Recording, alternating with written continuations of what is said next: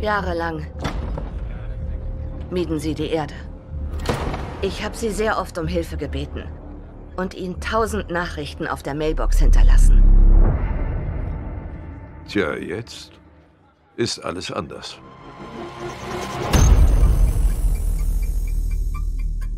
Wie viel wissen Sie über Ihr Sicherheitsteam?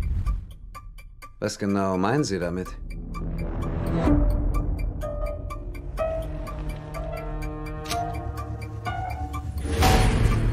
Fury, wir müssen jetzt sehr vorsichtig sein.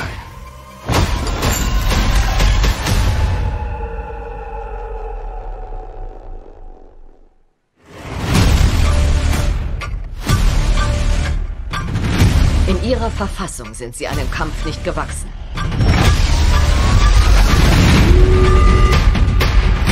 Das ist erst der Anfang. Das ist mein Krieg. Meiner. Und ich bin der letzte Mensch, der zwischen ihnen steht. Und dem, was sie wirklich wollen.